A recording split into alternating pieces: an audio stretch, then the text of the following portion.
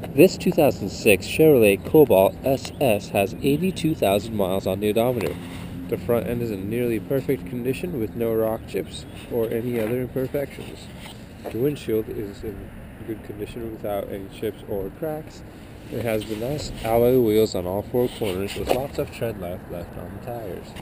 The rest of the body is in very nice condition with no dings, dents, or scratches to be found.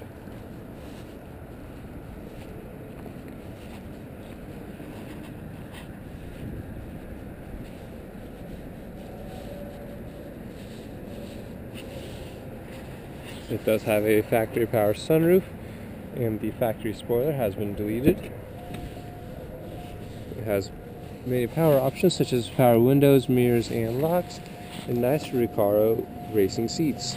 There is a small tear in the front of the seat, but the rest of the interior is in very nice condition, free of any odors, rips, tears, or stains.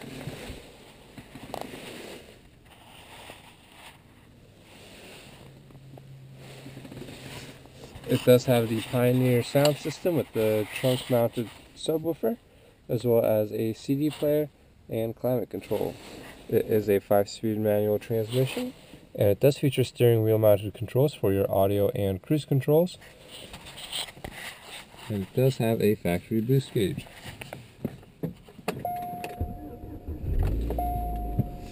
As you can see, it starts right up and idles perfectly. There are no lights on the dash.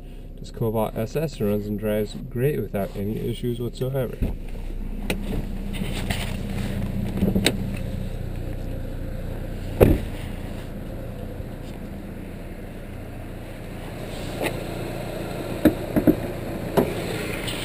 As you can see, the supercharged four-cylinder runs smooth and quiet, and the engine bay is very clean. It does feature an aftermarket K&N cold air intake system. This has been our 2006 Chevrolet Cobalt SS with the supercharged four-cylinder.